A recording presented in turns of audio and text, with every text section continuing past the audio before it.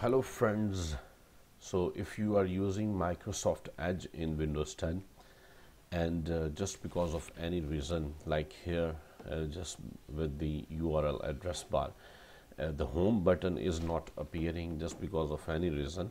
So how you can uh, re-enable that button? So uh, here I will show you very simple method you can use and apply uh, and you can see like how easily the home button will reappear in Microsoft Edge browser.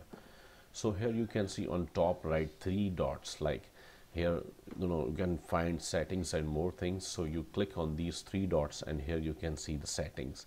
So just click on the settings and now here you can see there are different settings you can control and show the home button. See when I click here the home button will appear here so show the home button and you can see home button has been appeared there. So this is the easy method you can apply to enable the home button in Microsoft Edge. Thank you very much for watching this video. Please share the video with your friends. Thank you very much once again